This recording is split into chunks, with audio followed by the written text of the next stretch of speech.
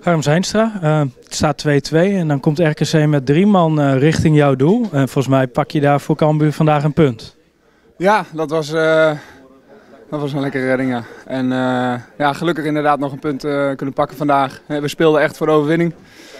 Hebben het niet gehaald en dan moet je zorgen dat je niet verliest. Ja, klopt. Ja, jullie beginnen op zich aardig aan de wedstrijd. Toch kom je 1-0 achter. Hoe kan dat? Ja, ik zei het net ook tegen een collega van je. Echt net daarvoor, voor die penalty, merkte je al iets van... Nou, we werden wat slordig, we gingen wat foutjes maken. Uh, ja, dan geven we eigenlijk gewoon een penalty weg. En dat is, dat is wel doodzonde. Uh, maar gelijk daarna was het weer 1-1. Uh, binnen vijf minuten geloof ik. En hebben we de wedstrijd eigenlijk weer helemaal in, in handen.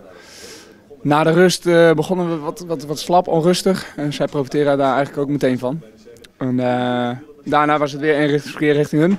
Wel met het gevaar dat er nog een paar counters waren. Die nou, die niet ongevaarlijk waren. Heb je nou een punt gewonnen of heb je de twee verloren? Ja, het, is een beetje, ja, het voelt een beetje dubbel. Het, het had echt beide, beide kanten op kunnen, op kunnen vallen vandaag. Dus ja, uiteindelijk moet je dan maar blij zijn met een punt.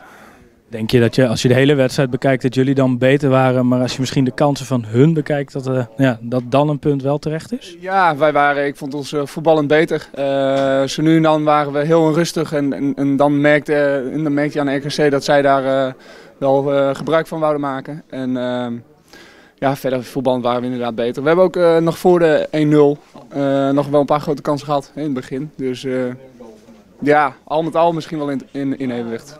Eerste seizoenshelft zit er nu op. Je hebt je teruggeknokt tot de eerste keeper. Ehm, ja, nu lekker uitrusten? Ja, nu is het even vakantie. Dat is wel even lekker. Ja, heerlijk. Ben je eraan toe? ja, vakantie is altijd wel lekker. Maar we hebben een kleine twee weken vakantie en dan gaan we op trainingskamp en dan gaan we er weer mooi voor. En dan staat er direct een aardige pot op het programma.